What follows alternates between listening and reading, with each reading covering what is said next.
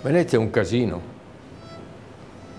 Venezia è l'opposto del bello e delle cartoline. Venezia è un colossale casino, un conflitto di linguaggi, di, di, di, di storie, una, una, una, città che è diventata grandissima nel, nella, nella, vivacità del confronto, del dibattito politico. No?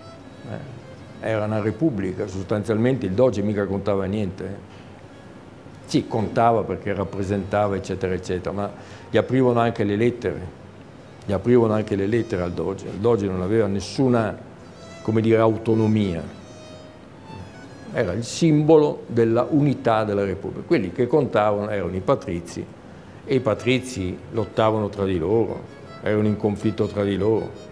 Era la dimostrazione di quello che dice Machiavelli, che il conflitto è produttivo, che il conflitto va bene, che il conflitto non ha nulla di negativo, quando il conflitto è per Venezia, è per Roma, quando il conflitto ha un fine comune, quando i duellanti hanno un fine comune.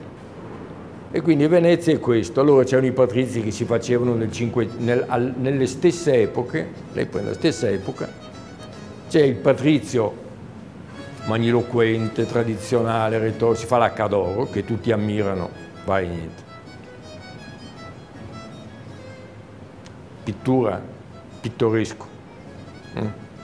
E c'è quello che invece vuole il Palladio, vuole il San Micheli, eh? vuole il Sansovino, e, e allora da un lato lotta, come ricostruiamo Palazzo Ducale? Come facciamo il ponte di Rialto? Con Palladio, linguaggio alla romana, linguaggio nuovo, umanistico, rinascimentale, un partito politico. L'altro partito, no, lo facciamo secondo le forme tardogotiche, secondo le, for le forme fiorite, secondo, le for secondo i padri, secondo la tradizione.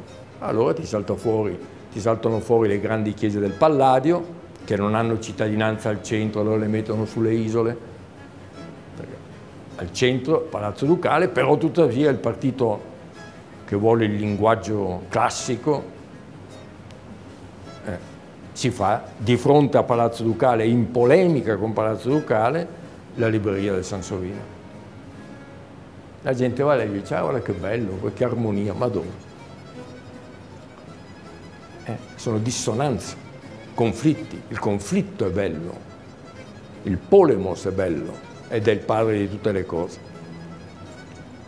Dove non c'è polemos, non c'è bellezza e non c'è neanche grande vita politica, grande vita civile.